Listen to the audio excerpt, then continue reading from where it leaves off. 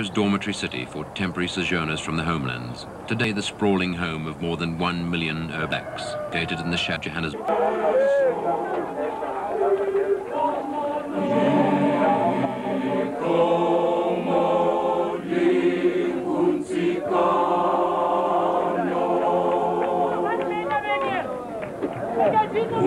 On overcrowded trains, as in the township itself, the consequences of sociological and environmental deficiencies manifest themselves in crime and violence, with at least one member of every fourth Sowetan family becoming the victim of violent crime.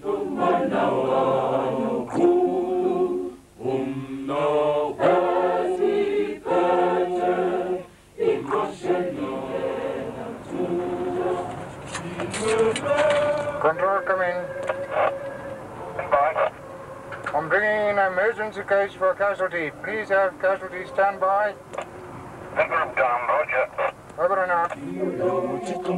Facing the challenge of this third world situation that is Soweto, reflecting the misery, the joy, the hardships of more than one million people, the largest hospital on the African continent and one of the largest specialist hospitals in the world, Baragwanath, known to the staff and patients as Bara.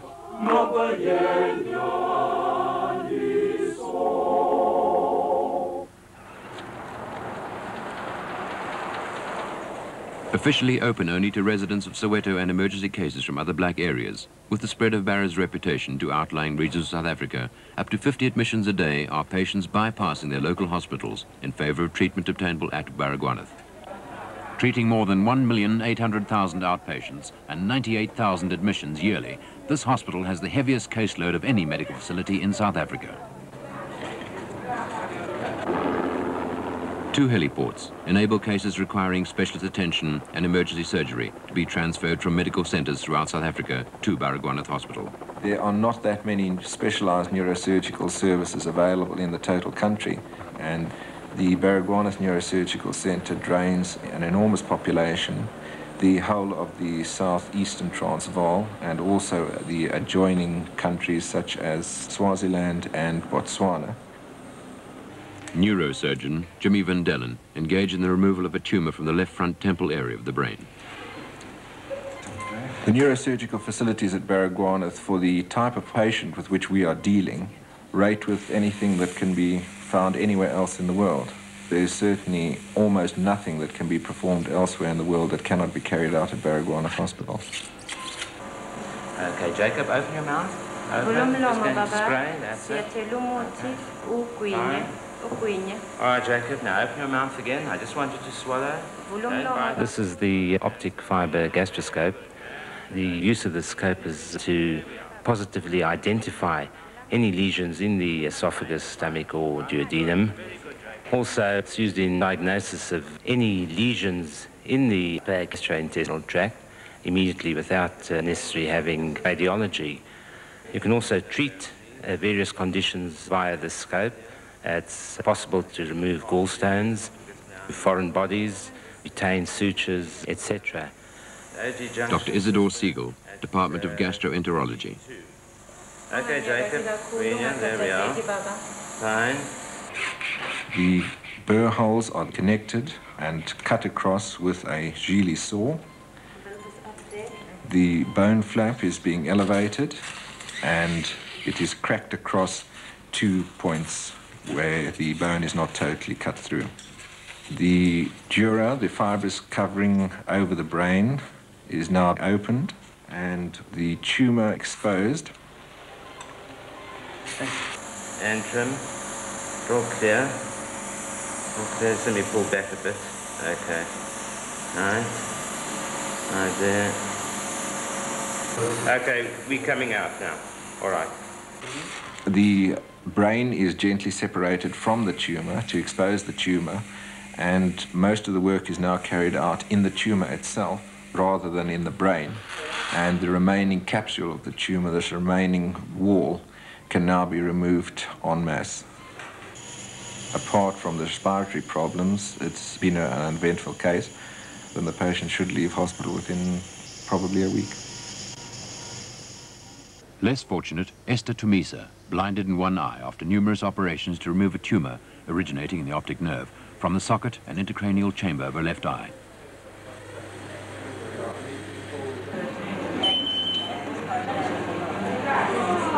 In the dialysis ward of the renal unit, using artificial kidney machines, hemodialysis is carried out on patients with malfunctioning kidneys.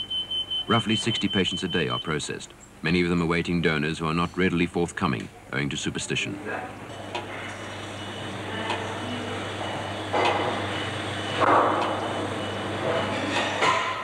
The largest facility of its kind in South Africa, the intensive care unit comprises one 18-bed ward with 12 isolation units. With an average of nine open-heart operations, all requiring post-operative treatment, performed every week, and serving all medical disciplines with the exception of neurosurgery, the intensive care unit has an average monthly occupancy of 106 patients. Neurosurgery has its own specialized high care unit. To relieve pressure on medical staff at Bara, enabling doctors to concentrate on cases requiring specialist attention, and to extend the hospital services on a general practitioner level, four of the eight decentralized clinics, scattered strategically throughout Soweto, are manned by specially trained nursing staff to administer to the primary health needs of the community. For general nursing care, medication, family planning and dental services provided at clinics, treatment costs one rand. Dr. Teresa Kumalo is the only registered black woman dentist in South Africa.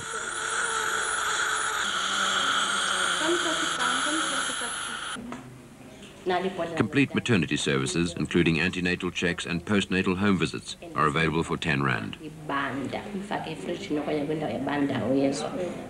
Extending the role of the clinics and providing the first line of attack in combating the underlying causes of prevalent disease in Soweto, a project involving lay health workers initiated by Professor Lucy Wagstaff of the University of the Witwatersrand has been initiated in the Diepkloof area of Soweto.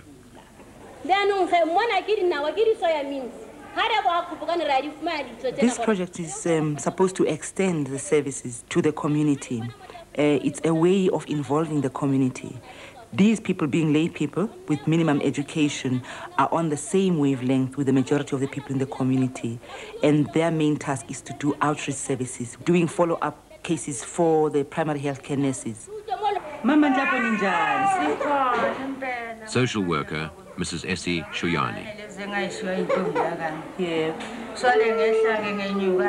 All the doctors know that what they see is just the tip of the iceberg. Because if, say, the mother has five children, she'll send the worst one. So now reaching out helps in that case because they're able to pick up other problems. Malnutrition or poor nutrition is the underlying cause of most of the illnesses. When a patient has been referred to the community health workers who give nutrition counseling. They go on a step further to demonstrate how to prepare some of these foodstuffs. And then they go on a step further now to refer the people to the agriculturist who is Gideon.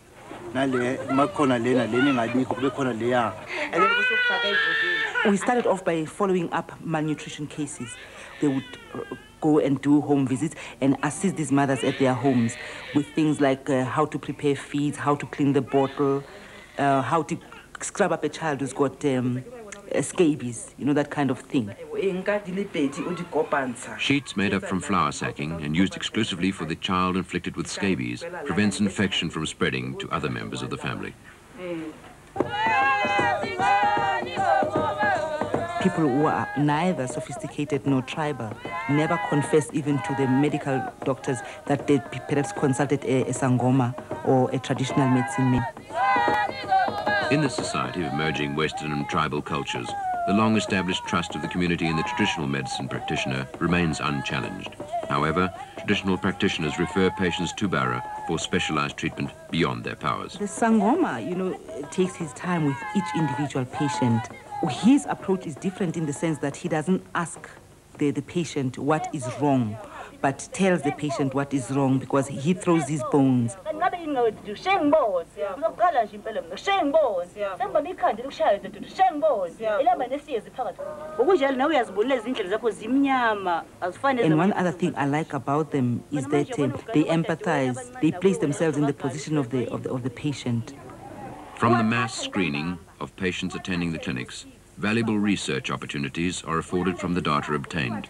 For example the analysis of pap smears from women making use of the family planning service Dr. Gladwin Lehman. A pilot study conducted in family planning clinics in Soweto indicated a very high incidence of premalignant disease of the cervix. This is very readily treatable with a 100% cure rate. Therefore, as far as possible now, we attempt to routinely screen all women attending clinics.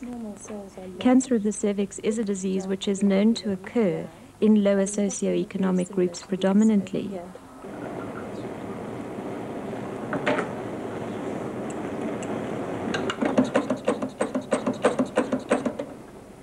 In the histopathology laboratory of the South African Institute of Medical Research at Baragwanath Hospital, diagnostic research is carried out on portions of tissue removed from patients in theatres.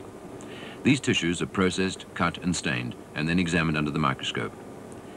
The second function of the laboratory is to conduct post-mortems on subjects dying of natural diseases. Dr. Charles Isaacson. Clyde, could I please have this section of rosemary? Thank you. The accumulation of material uh, and the analysis of statistics and records over, over a period of years is of tremendous value in uh, propagating thought processes amongst doctors as to why there should be differences in incidences of diseases in various population groups. These differences are environmentally induced.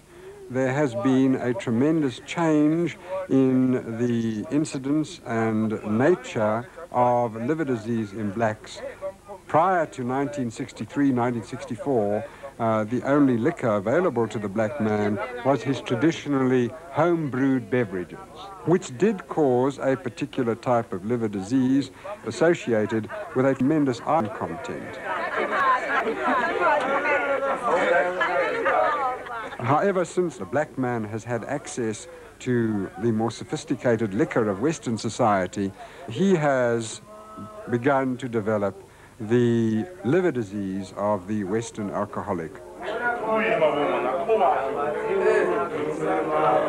Referring to diseases in which there may be a deficiency of immune response, we think specifically of tuberculosis and rheumatic fever.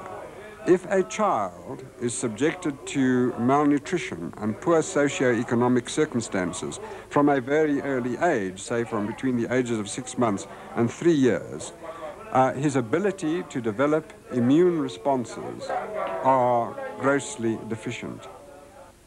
Listeria is a worldwide organism and it is found in domestic animals, dogs, birds and fishes. We in uh, Baragwanath had what we considered to be an outbreak, over 15 cases in a very short period. We found that these cases were in um, pregnant uh, women and it did affect the babies.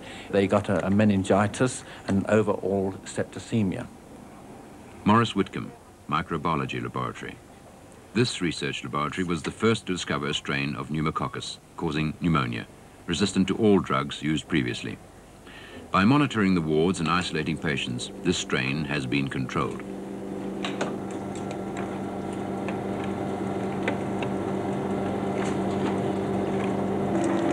In the hematology laboratory of the African Institute of Medical Research at Bara, research is carried out on leukemia and the high incidence of anemia in patients due to lack of vitamins.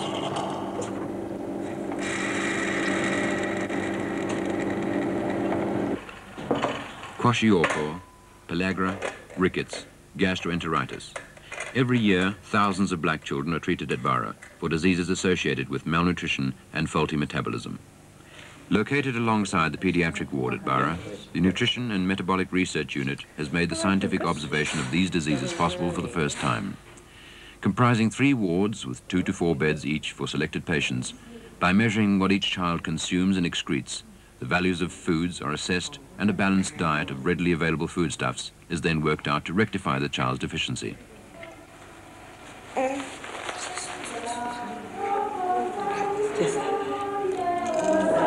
Christmas, Christmas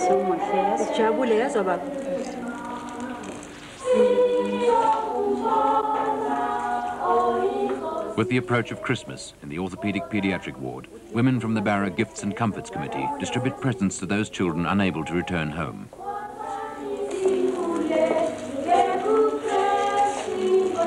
In the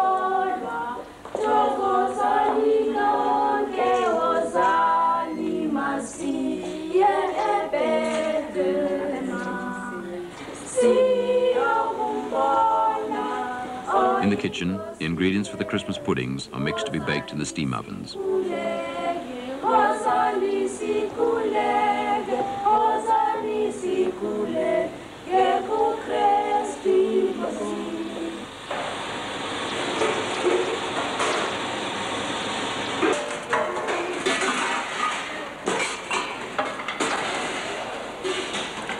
Meanwhile, lunch is served for 2,700 patients and 7,000 members of staff.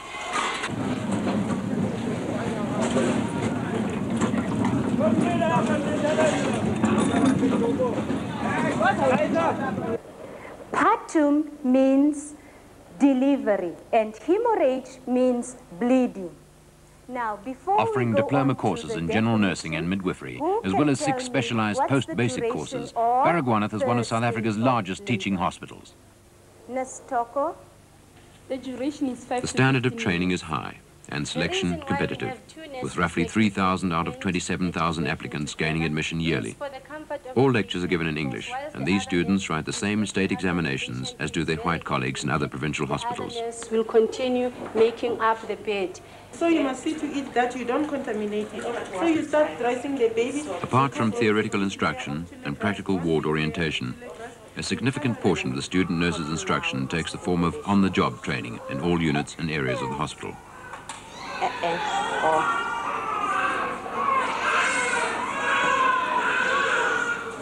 Unique to Bara is the drip bay concept, where a 24-hour service for outpatient babies suffering dehydration from gastroenteritis is provided. We'll have to work faster and get the veins by means of intravenous drips, the fluid and normal iron balance of the patient are restored, with up to 80 babies per day being treated in this way during the high summer season.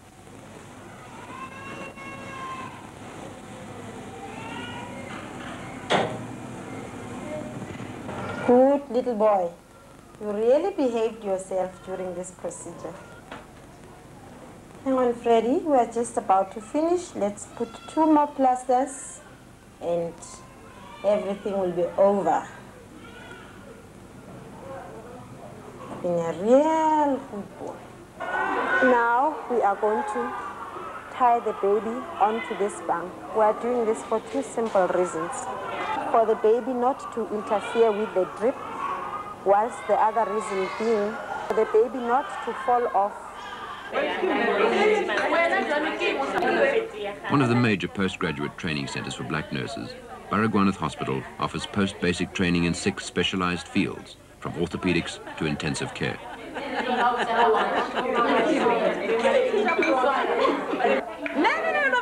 The petite one. Size 32 only.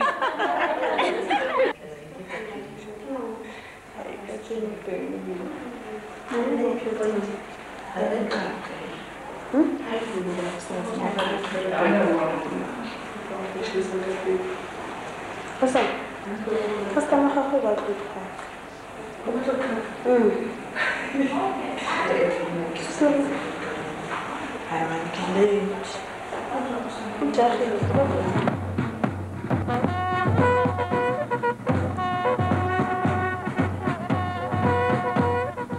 On parade, Baragwanath Hospital's distinctive security force. 142 strong, what these men lack in facilities and equipment, they make up for in pride and efficiency.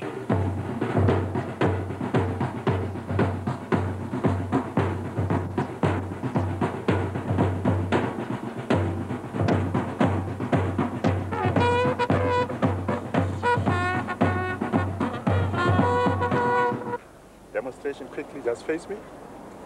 First, come right there.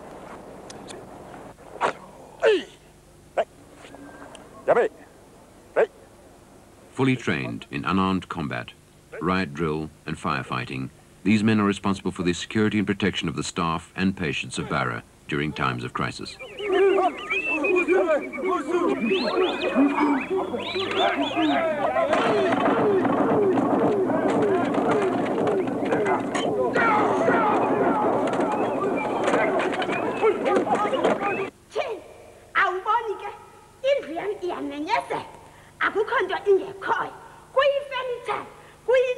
Enjoying a rare spirit of camaraderie, off duty, the staff of Bara participate in cultural activities ranging from drama group performances to ballroom dancing.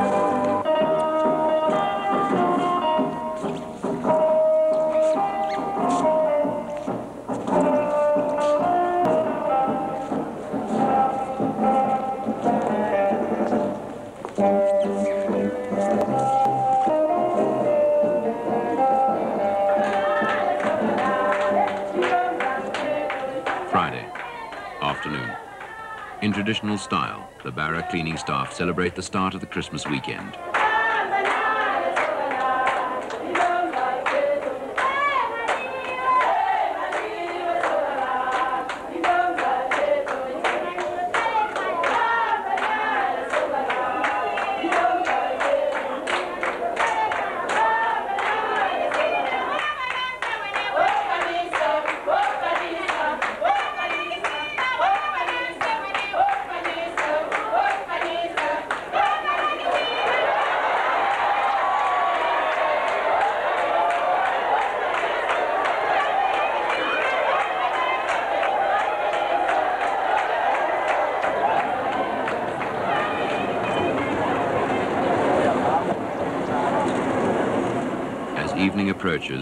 From Johannesburg the gradual westward flow to Soweto begins, as workers and shoppers return at the end of another day.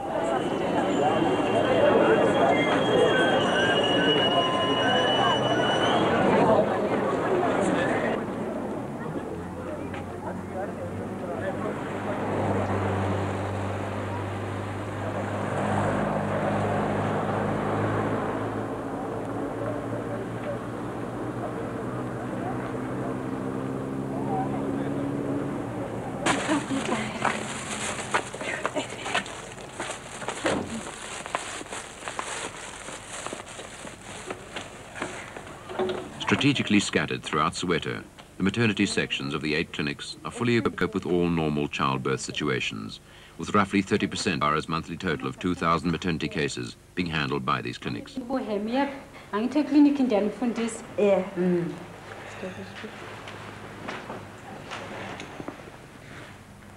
In emergency situations requiring specialist attention, the patient is immediately transferred to the maternity hospital at Bara.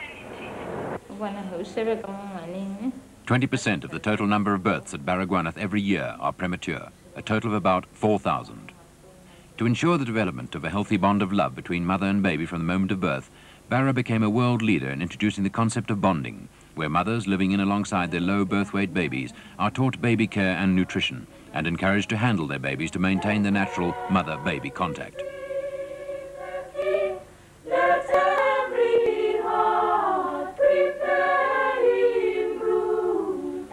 Christmas Eve. In candlelight procession, student nurses bring the Christmas message to the sick.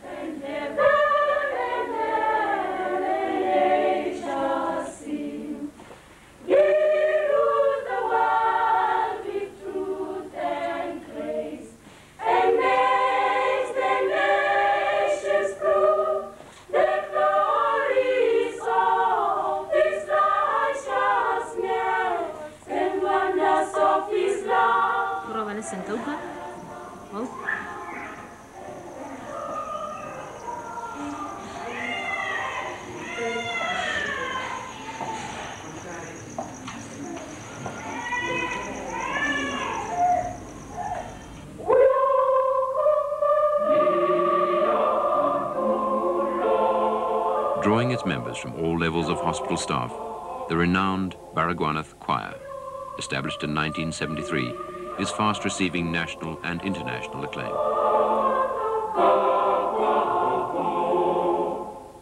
Conducted by their inspired leader, theatre sister Pauline Malloy, the choir sings the Xhosa classic, Unsikana, the story about a great African prophet who lived many years ago.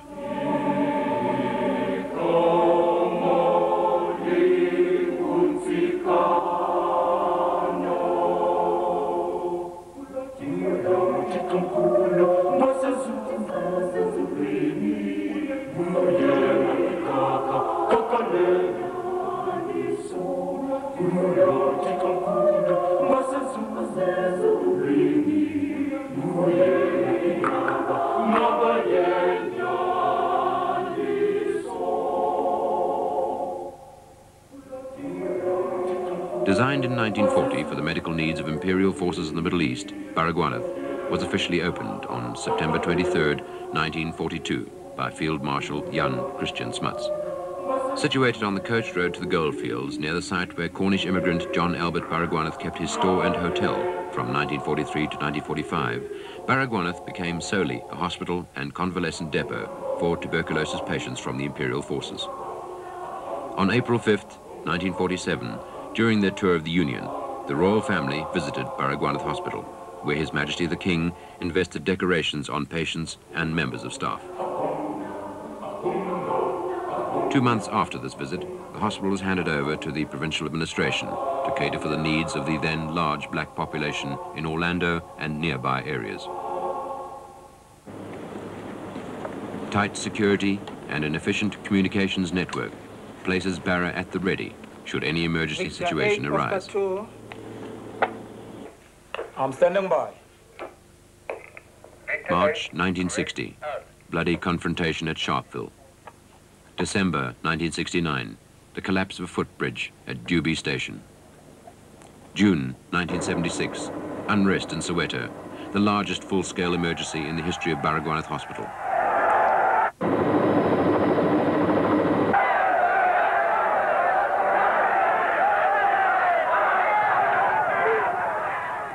Official figures for casualty admissions over this period have not been released.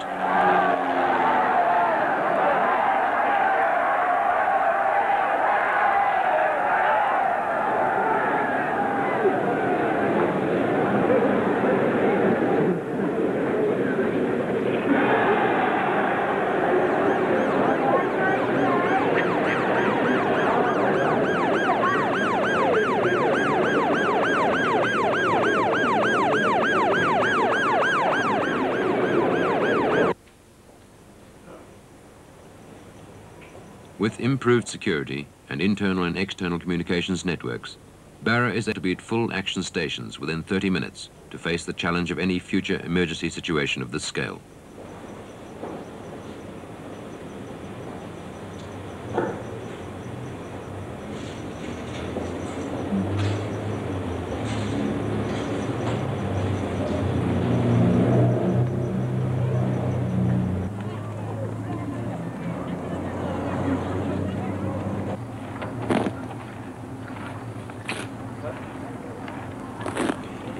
With the start of a new day in Soweto, the community health workers set about checking on the well-being of their SID families.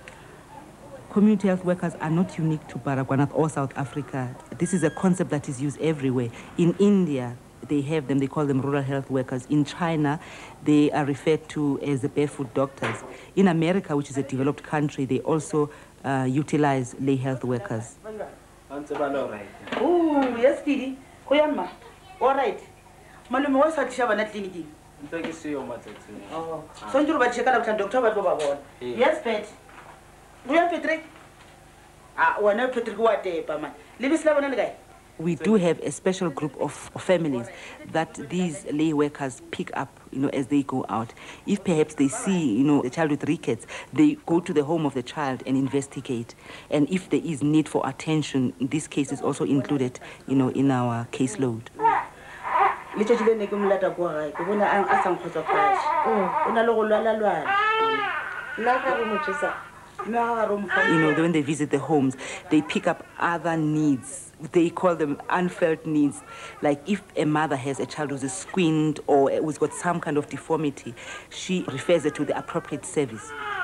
Led by the child best able to see, patients make their way to the St. John Eye Department of Baragwanath Hospital. The largest eye department in the Southern Hemisphere, it handles about 50,000 patients per year. In the children, we see a large amount of squints, I don't think it's a high incidence. I think that because people notice it more, they send their children more readily to come to St. John's for squints. The disease prevalence is the same in all the race groups in South Africa, with a few exceptions. In the equipment here is excellent. Every doctor is equipped with whatever no. is necessary. Does this make it better? Can't see. Any further? We were one of the first hospitals to start with microsurgery. Glaucoma has been a area which we have specialized in for many years. And retina, of course, is a large portion of our patients. Ophthalmic surgeon, Dr. George Barfelt. At present, we're the only black hospital to have laser on the premises. Right down. That's excellent. Just relax now. The laser is mainly used for the treatment of retinal problems and it is especially used at St. John's for treating diabetic retinopathy. Just keep absolutely still now.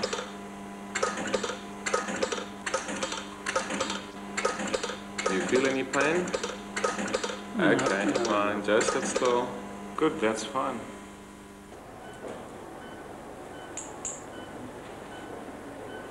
This patient has a cataract, which is an opacification of the lens. We have to remove this opacified lens so that the patient can see again. Pierce Hoskin knife, number 14. This is an extremely delicate operation and to obtain good results, one needs operating microscope so that everything is magnified.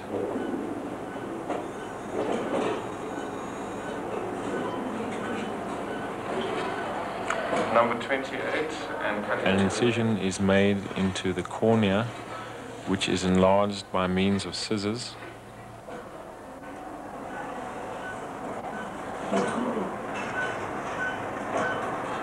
Can we have the GS14, the 10 Prolene, cut one needle off?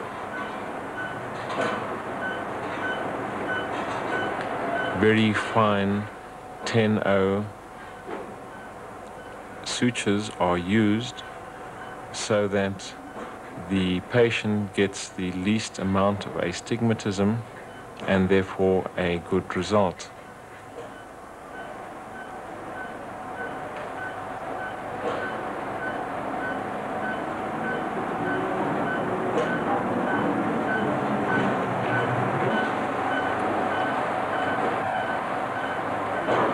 Cataract operation, as we are doing it at present, has the least amount of complications.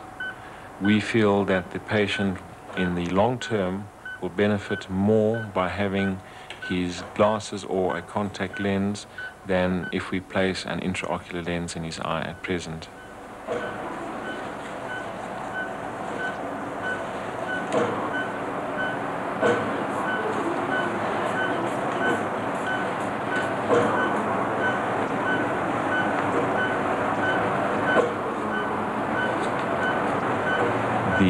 Is pulled Pull back, back and That's a fine. cryo pencil is placed on the lens. This is then frozen and the lens is removed easily.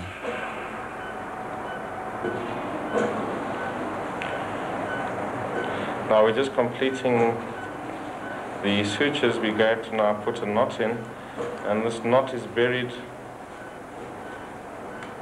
in the wound so that the patient never even feels any sutures and the sutures are so fine that they bury themselves within two hours. And so the patient has no idea that they've had an operation um, as soon as they wake up.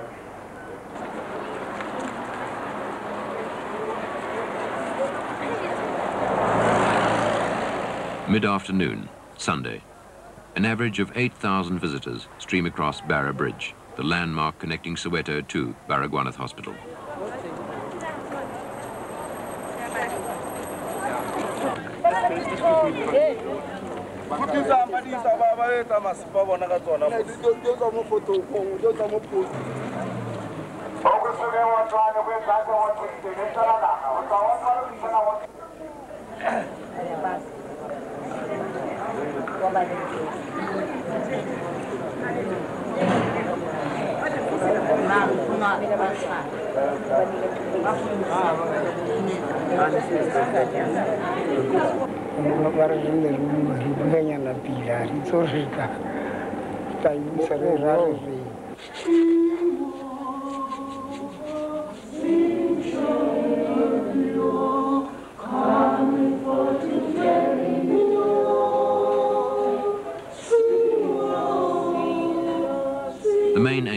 occupational therapy program at Bara is to enable the patient to gradually discover for himself his own capabilities and having regained his confidence in work-orientated activities, work towards his replacement in the open market.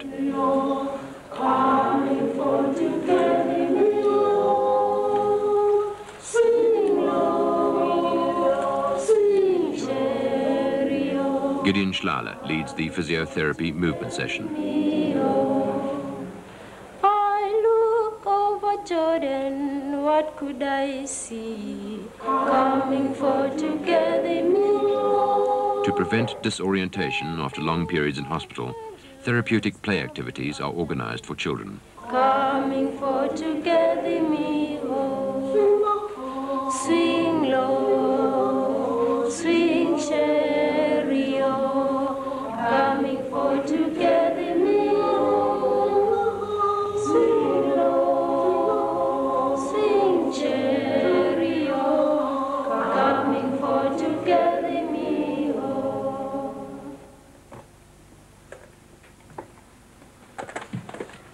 About 10% of all cases are successfully placed into open market labor or help to establish a home business.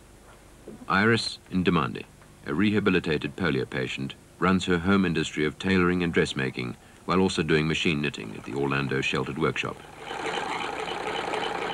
Polly, I'm going to be presenting some sounds to your left ear.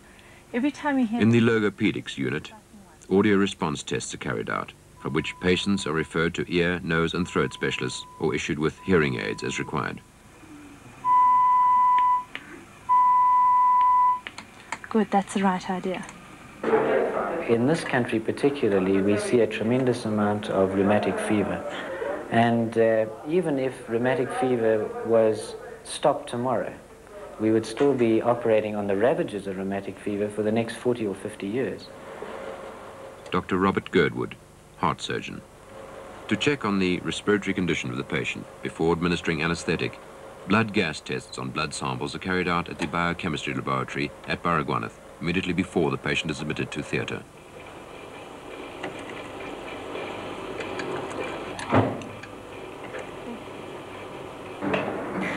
The operation involves um, the heart-lung machine, and initially the skin is opened in the mid-portion of the chest, and the breastbone is then divided, and the pericardium, which is the sac surrounding the heart, is opened. In this particular case, uh, because of the acute inflammatory rea- reaction which was present, the pericardium was densely adherent to the heart. Do another small swab, just hold it there. So in this, in this particular case, we're seeing the result of acute rheumatic carditis. Now, we only see this sort of condition in overcrowded conditions, in patients which are perhaps malnourished, and uh, a lot could be done uh, for these patients at a preventative level by um, institutions and the government. In fact, putting money into primary health care and health centers In other words, get it before we are seeing the results that we have seen.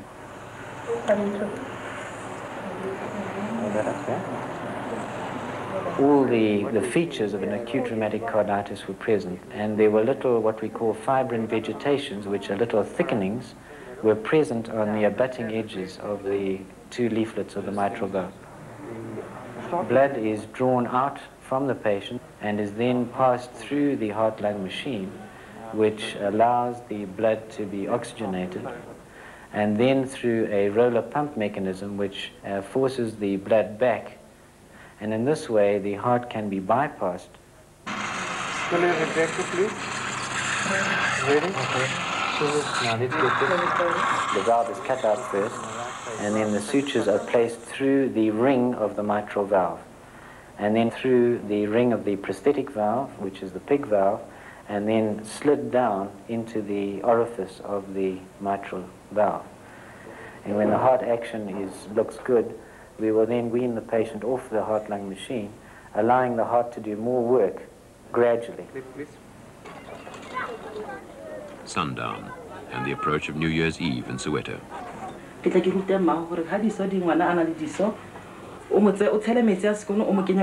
Completing her daily routine, the community health worker calls on one of her selected families to ensure that the child suffering from scabies is bathed in the correct manner.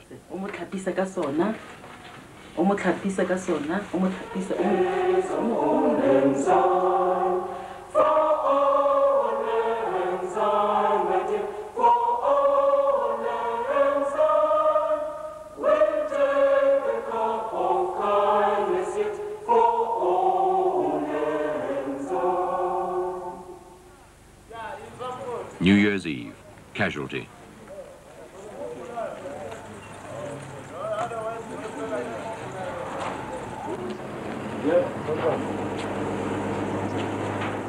On foot, in broken cars, taxis and ambulances, they arrive, the victims of violent crime.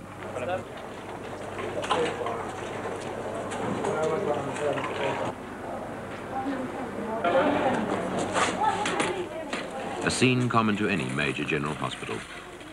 Here, however, in this stream of human suffering, are manifest the consequences of township violence, resulting from inadequate street lighting, unemployment, and socio-economic, spiritual, and environmental deficiencies.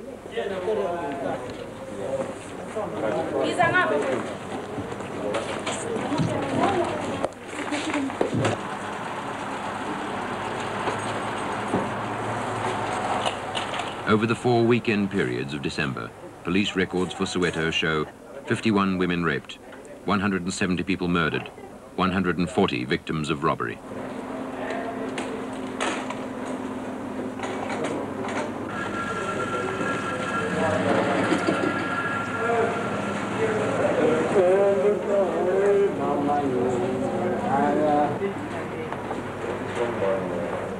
Over this Christmas-New Year period, a total of 1,420 casualties were admitted to Bara.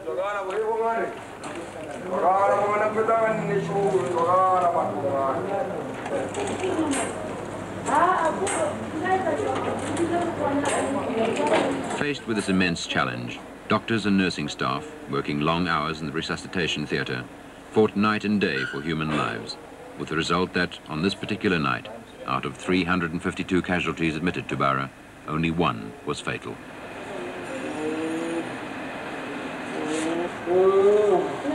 Putting a tube in your chest.